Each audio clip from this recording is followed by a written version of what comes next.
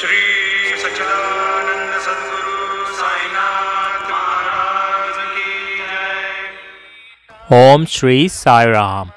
My dear Sai brothers and Sai sisters, welcome to Divine Bliss 1. Sai Baba's blessings to everyone listening to this message and everyone in our Divine Bliss family who are celebrating their birthdays and wedding anniversaries today.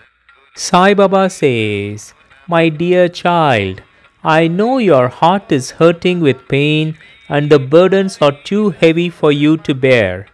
When you're facing a health problem, the biggest enemy is the fear of not being cured. So let go of all your fears. You gain strength, courage, and confidence through experience, and when you start overcoming your fears. Every time you tell yourself that you can't do it, you're losing the courage to try it. So don't limit yourself, my child. Create newer and healthier habits towards your betterment. Let go of your anger, fear, and grudges. All that matters is that you make a decision today to remain in the path of righteousness and resolve to stick to it no matter what.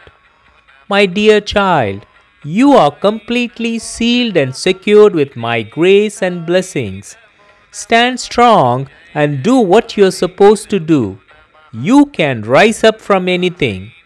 I am standing in front of you with my hands stretched out. Reach out to me and hold on to my hand tight. I will pull you up and help you to overcome this struggle. Nothing is permanent, my child. What you're going through is temporary.